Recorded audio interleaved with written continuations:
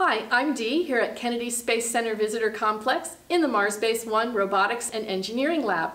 Today we're going to talk a little bit about how to program a robot.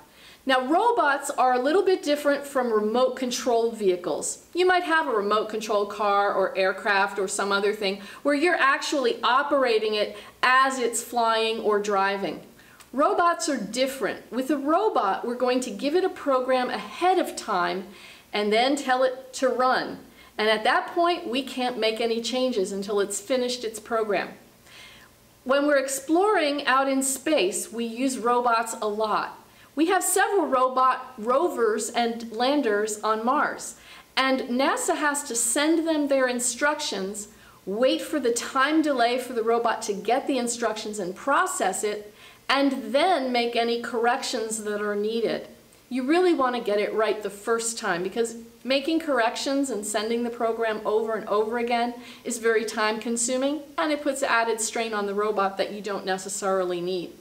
Now I'm holding a Lego EV3 robot. Some of you may have these at home if you're part of Lego Robotics.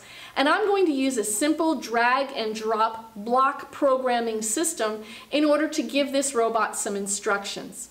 Also, I have a Dash robot, which works on the same principles. It's just a little bit friendlier. So let me show you how both of those work. So this is a typical block programming, and what I'm going to do is I'm going to select a program block and I'm going to attach it into the program and then use it to give a few very basic commands. Uh, this is going to tell me if I want to go left or right, forward or backward. This is how much power I'm giving to it. This is how many times I want the wheels to rotate. I'm going to change that from one to two. And this thing here means that I've got a loop where I'm telling it to do the same thing over and over and over again. So when I hit play, the robot's going to execute these commands. So Dash has a slightly different look, but it's the same general principle.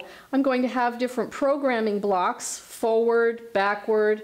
I'm going to tell it how far I want it to go. Dash measures in centimeters. I'm going to tell it how fast I want it to go, either slow or fast. So it's a little bit less sophisticated than the Lego program, but the idea is the same. When I hit play, Dash is going to execute all of these plans.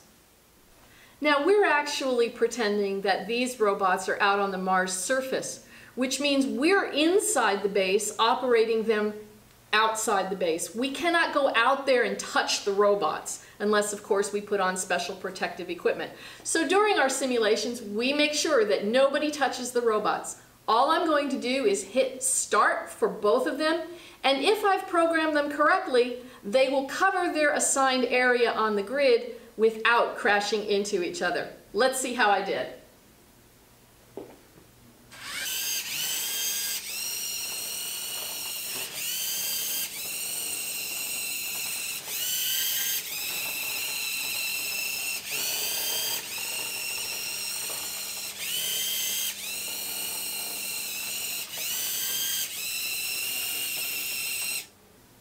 Not too bad.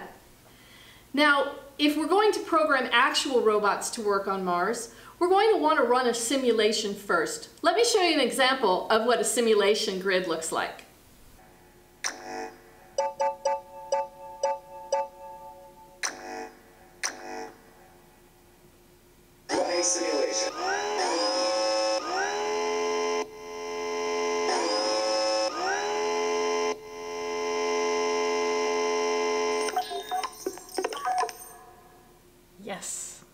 Now you might not have robots at home, but the nice thing about programming is you can do that even if you don't have a robot. You just need a friend to act as your robot. Choose someone who's good at following instructions because you're going to write a program for them to follow.